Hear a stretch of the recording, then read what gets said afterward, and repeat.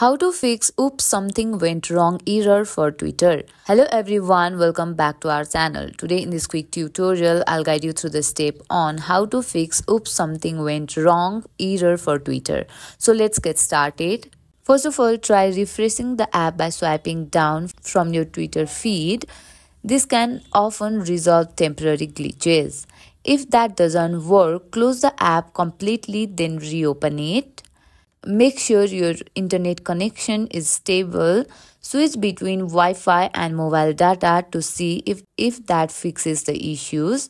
Another thing you can try is clearing the app cache go to the settings tap on the general then go to your iphone settings scroll down towards the twitter and select clear cache if you are still having the problem, check if there's an update available on the Twitter in the App Store. Lastly, if none of these steps work, try logging out of your account and then logging back in. And that's it. Fully, one of these solutions work for you. Thank you for watching the video till the end. Hope you like the video. If you like the video, don't forget to subscribe our channel for more tutorial like this. See you on the next video.